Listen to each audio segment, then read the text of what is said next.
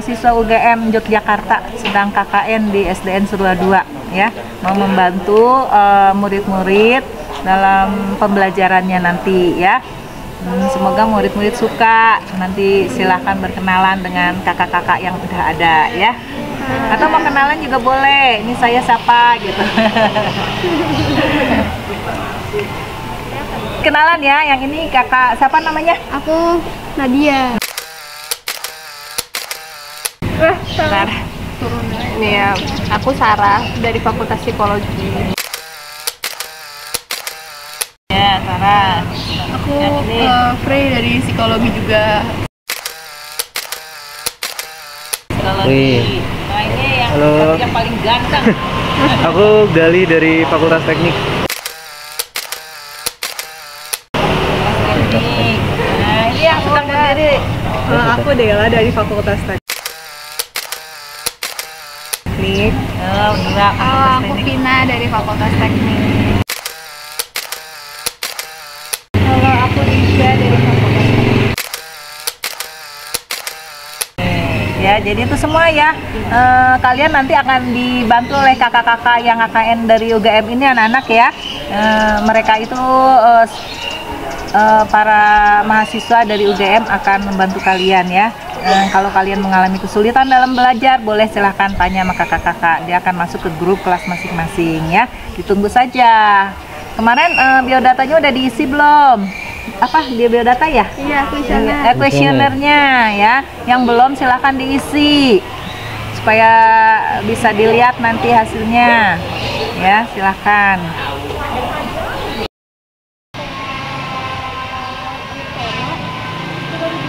Assalamualaikum warahmatullahi wabarakatuh. Salam Serdu Channel. Oke. Kali ini hmm, kali ini akan apa wawancara dengan yang mengurusi kesehatan siswa nih di sekolah mewakili ya guru-guru yang lain. Nah ini yang ada hubungannya dengan koordinasi dengan pihak puskesmas namanya Bu Rukia. Oke ada apa di hari ini kita tanyakan. Oke good saksikan. Nah, yang mengkoordinasikan dengan puskesmas ya terkait mengenai kegiatan hari ini dari puskesmas. Ya, betul. Ya Bu Rukiah, apa kegiatannya nih hari ini? Hari ini eh, biasa di bulan Agustus itu ada yang namanya BIAS, yaitu bulan imunisasi sekolah. Eh, di situasi seperti ini kita dapat jadwal kemarin kan masih PSBB, jadi kita jadwalnya dikasih eh, menyusul di belakangan ternyata masih PSBB juga. Cuman ini harus tetap dilaksanakan ya, karena kesehatan itu penting sekali ya. Walaupun situasi yang seperti ini, kesehatan itu kata Menteri itu tetap harus dilaksanakan imunisasi ini, walaupun situasi seperti ini, cuman di kita pakai protokol kesehatan, biasalah kita cek suhu siswa serta eh, pendampingnya juga social distancingnya, jaga jaraknya juga kita laksanakan, cuci tangannya juga tetap dilaksanakan ya, karena memang ini harus tetap dilaksanakan walaupun situasi seperti ini demi kesehatan anak bangsa ya. Dan eh, ini udah jadwalnya tapi siswa belum datang, hmm, kita sambil menunggu anak-anak ya eh, datang supaya cepat diimunisasi. Imunisasi kali ini namanya MR ya. Imunisasi eh, MR itu adalah imunisasi eh, kayak campak gitu ya karena eh, ini masih masih banyak anak yang masih terjangkit penyakit ini tidak bisa dibiarkan begitu saja dan tidak boleh tidak peduli harus tetap dilaksanakan ya semoga kesadaran para orang tua eh, murid untuk mengimunisasi anaknya datang ke sekolah fasilitas bagi yang hari ini tidak berkesempatan untuk datang yang eh, sakit ataupun pergi nanti silahkan datang ke puskesmas di situ akan diberikan jadwal oleh puskesmas untuk hari-harinya jadi itu saja yang akan ibu eh, ibu berikan eh, di bulan imunisasi anak sekolah ini terima kasih Oke, terima kasih Bu Rukiah. ya sama-sama Ya itulah tadi sahabat.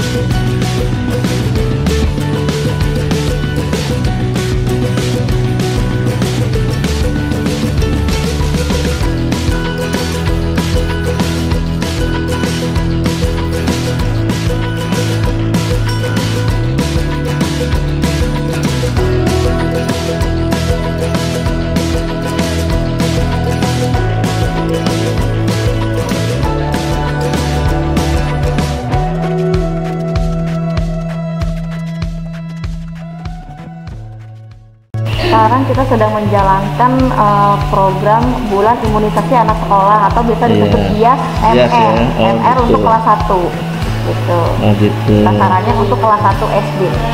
Kelas satu SD ya. Nah, ini apa imunisasi apa ini? Imunisasi MR atau campak. Oh, campak. Iya. XR itu campak ya? Campak ya. Oh, yang R-nya apa ya? Rubella. Ya, Melefes rubella. Rubella ya betul ya? Heeh. Oh, gitu. Oh, terus ini hanya kelas satu saja kelas yang lain? Untuk MR eh, hanya untuk kelas 1. Nanti Kelas kita satu. juga ada untuk kelas 1, 2 dan 5, tapi imunisasinya beda, DT dan TB. Jadi satu tahun ini ada dua kali bulan imunisasi anak sekolah. Yang pertama itu campak atau MR di Iya. bulan Agustus dan Agustus, September. iya. Nanti yang kedua eh, imunisasi DT dan TB Oh, untuk gitu. kelas 1, 2 dan 5 nanti di bulan November atau Oktober. Oh, gitu. Nah, ini keterkaitan dengan eh, apa keadaan corona seperti ini. Ini berpengaruh nggak? Sebenarnya kalau imunisasi itu wajib ya hukumnya untuk anak-anak karena kan untuk kesehatan anak-anak juga di masa pandemi seperti ini sebenarnya bukan menjadi penghalang gitu ya karena kita khawatirnya seandainya anak-anak tidak diimunisasi atau tidak dilakukan bias eh, penyakit campaknya atau outbreaknya nanti akan timbul lagi gitu nanti eh, jangan sampai lengah gara-gara pandemi gini nanti eh, dampaknya akan keluar lagi karena kan harusnya dampak itu nggak ada atau ada cuma beberapa persen saja karena banyak anak-anak yang tidak diimunisasi khawatirnya nanti dia akan akan akan kembali banyak Oh, gitu ya. Sebenarnya wajib ini hukumnya Itu tetap pencegahan ya, Iya, tetap pencegahan. sesuai dengan programnya ya di bulan Iya. Agustus ini ya. Nah, cuman tetap kita jalani sesuai dengan protokol kesehatan Oh gitu. Nah ini saya juga mau nanya nih terkait dengan pandemi corona eh, pihak eh, puskesmas ketika misalkan mudah-mudahan sih nggak ada ya. Kalau juga menjalik mudah-mudahan di SD ini nggak ada.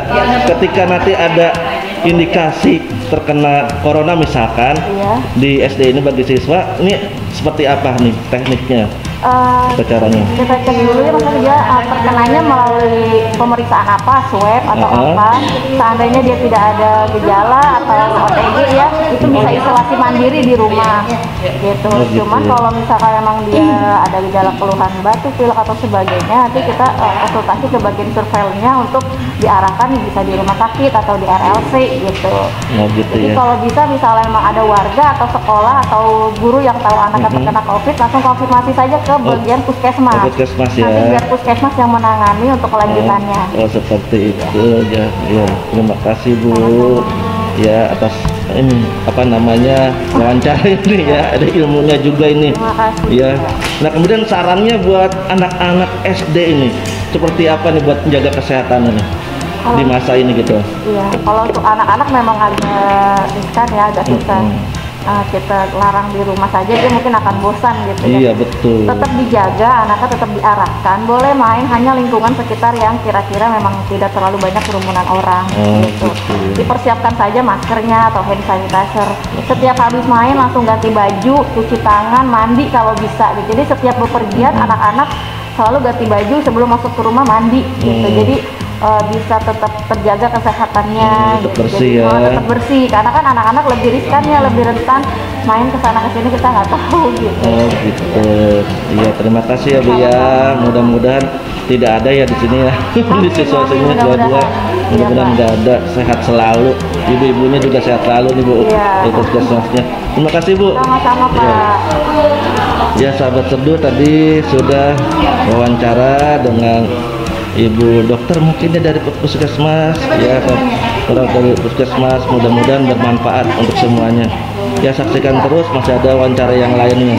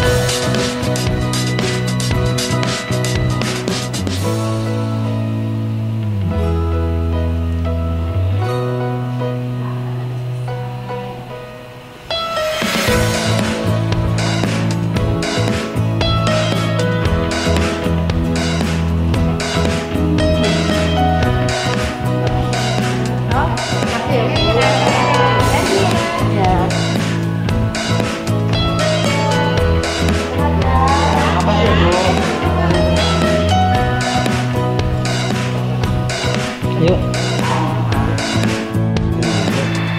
Dia manusia begini bingung juga.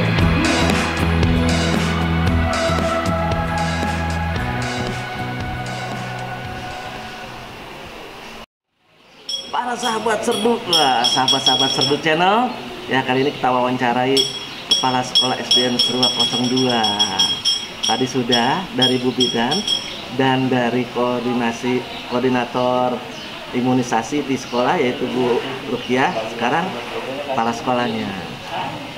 Oke? Nah kepala sekolah nih Ibu Haja Sulasri SPD MM ya pokoknya semangat. Sama beliau ini semangat luar biasa. Oke Bu Haji saya mau nanya nih. Ini menyangkut kegiatan hari ini sebetulnya ada dua nih imunisasi dan ada yang sedang lagi KKN di sana ya para mahasiswa sedang melakukan KKN mahasiswa dari UGM nah ini eh, sebetulnya kegiatan ini seperti imunisasi sudah terprogram atau dada- dadakan ini seperti apa Bu Haji silakan Bu Haji. Kalau untuk imunisasi memang sudah diprogramin setahun kan dua kali. Jadi satu semester ada imunisasi, terus semester kena pun ada imunisasi. Hal itu kan memang udah kerjasamanya kita uh, sekolah dengan pihak kedua yaitu puskesmas. Tujuannya kan satu yang menjaga kesehatan buat anak-anak kita, anak-anak didik kita terutama ya bangsa kita khususnya biar generasi penerusnya lebih cerdas, lebih sehat, lebih apa ya nah, atau gagah tampil beda dengan apa ya berarti dengan kesehatannya mungkin ya Banyak gitu atau ya. Semuanya dah daya tahan tubuhnya lebih hebat gitu. memang dalam dalam masa seperti ini harus sehat intinya gitu ya. Nah dengan dengan imunisasi ini berarti kan bukan berarti adanya uh, corona atau pandemi ini imunisasi berhenti, bukan gitu kan? Artinya dengan imunisasi ini juga bisa menambah daya tahan tubuh kita lebih uh, mantap gitu ya, terutama buat itu murid-murid kita ya, para siswa-siswi SDN Serua 02. Nah uh, kemudian persiapan apa nih dari SDN Serua 02 ini uh, sebagai protokol kesehatannya. Nah, seperti apa Bu Haji? Silakan. Eh, yang pertama untuk anak-anak wabil khusus datang ke sekolah harus pakai masker. Oh, masker ya. Masker yang utama. Kedua protokolnya yaitu ya cuci tangan yang bersih, yang air mengalir sehingga kuman-kumannya virus-virusnya cepat hilang. Yang ketiga, yang pertama yaitu kalau emang harus ada izin dari orang tua. Kalau orang tua tidak mengizinkan anaknya untuk diimunisasi, berarti kita sebagai pihak sekolah ya nah harus semuanya harus ada kerjasamanya. Betul ya, betul. Yang ketiga jaga jarak, makanya anak-anak datang itu diatur waktunya supaya anak-anak tidak bertemu dengan temannya. Paling bertemu dengan petugas yang sudah kita siapkan. Karena di sini kan harus ada pemeriksaan suhu tubuh. Kalau suhu tubuhnya di atas suhu tubuhnya. 37 setengah kan Hmm. dalam kondisi panas ya, pas kurang sehat gitu. Itu kan tidak diperbolehkan dilakukan imunisasi.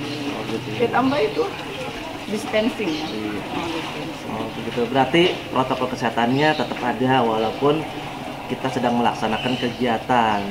Ya, ini pun juga eh, pesertanya dari siswa SDN Surabaya 02 tentunya dibatasi ya. Mm-mm, Nah, betul. dibatasi gitu. Tetap ini namanya juga sebagian dari protokol kesehatannya.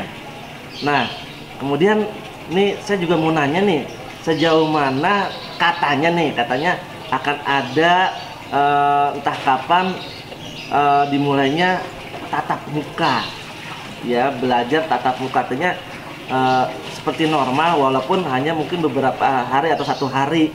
Nah ini persiapannya bagaimana? Apakah jadi apa enggak ini seperti ini? Eh, ayo, silakan. Baik untuk tatap muka, eh, insya Allah kita menunggu kondisi wilayah kita nih Tangsel. Oh. Kalau emang zonanya sudah Zonanya ya. jauh gitu kan ya nanti dan kedua juga kita tunggu dari gugus tugas COVID-19. menurut instruksi. Oh, instruksi dari gugus tugas, terus instruksi dari dinas. Kalau misalkan udah oke uh, dilaksanakan tatap muka, ya sekolah harus sudah siap, harus menyiapkan jaraknya, anak, anak datang sama anak pulang itu tidak boleh berpapasan. Kemudian ya kita harus siap semuanya deh untuk kesehatan tatap muka ini. Jadi kalau misalkan sudah insya Allah sih sedikit-sedikit udah Betul, persiapkan ya Pak ya Hmm, udah udah persiapkan nanti sambil berjalan kapan nanti udah waktu ditentukan langsung kita harus sudah siap semuanya Oke. Nah, itulah dia sahabat serdu. Ya, di sini persiapannya sebetulnya sudah sudah ada ya, sudah berangsur-angsur eh, tambah persiapannya seperti wastafel tempat cuci tangan, ya jaga kesehatan tangan tetap bersih ya. Kemudian juga di sini ada hand sanitizer juga ada.